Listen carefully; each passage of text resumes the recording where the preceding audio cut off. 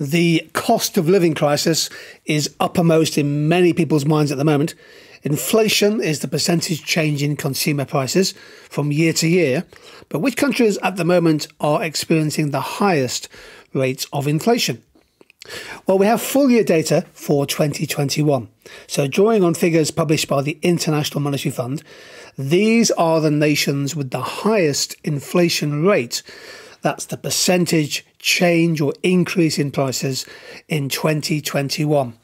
And you can see that Venezuela comes out far and away with the country with the highest rate of inflation 1,589%. Sudan, 359%, and Zimbabwe, 99%.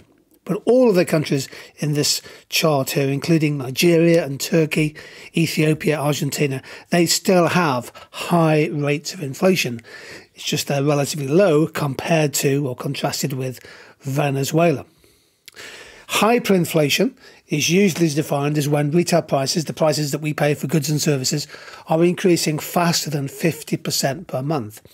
And as we've seen, Venezuela has far and away the highest rate of inflation in the world economy in 2021. But this has been happening for several years. Indeed, the Venezuelan economy has collapsed in real terms if we measure employment and output and living standards since President Maduro came to power in 2013. Indeed, Venezuela has now had the longest, the second longest period or bout of hyperinflation since Nicaragua in the late 1980s. So, high inflation, inflation that uh, uh, is in excess of 10, 15, 20, 50%, destroys the real value of your savings.